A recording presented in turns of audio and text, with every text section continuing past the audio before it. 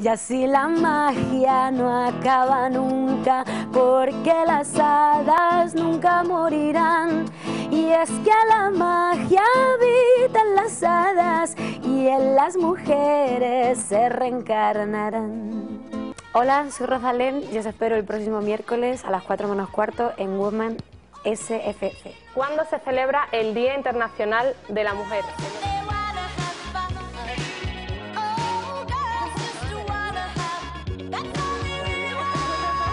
Todos los miércoles a las 4 menos cuarto de la tarde en Sevilla Fútbol Club Televisión.